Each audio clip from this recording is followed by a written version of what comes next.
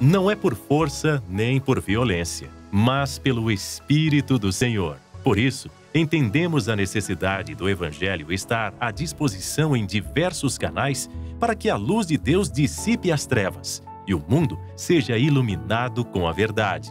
Ah, o chamado patrocínio foi que eu tava assistindo o programa do RR, né? Quando eu vi ele falando que seria muito bom é, ser um patrocinador para fiscar a alma, né? Parei e prestei atenção e, e pensei comigo, eu vou ser um. E comecei e até hoje não parei. Sempre é bom tem que ajudar, né? Essa é a forma que a gente vive para ajudar os outros, né? da maneira que a gente pode. É, com o meu patrocínio eu evangelizo muitas pessoas, né?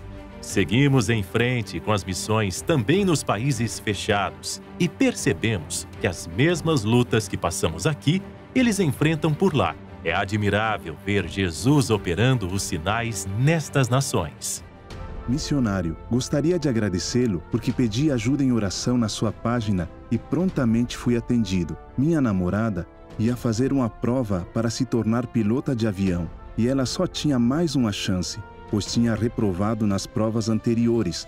Depois das orações, ela foi aprovada e já é uma pilota. Muito obrigado, meu Deus, e também ao senhor missionário. Missionário, escrevo para agradecer, pois estava com alguns problemas e quando recebi sua ajuda em oração, tudo foi resolvido.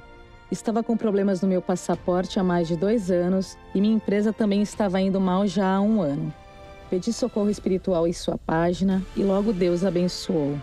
A questão do passaporte foi resolvida e a empresa cresce melhor a cada dia. Obrigada pelo suporte e ajuda espiritual. Deus o abençoe, missionário.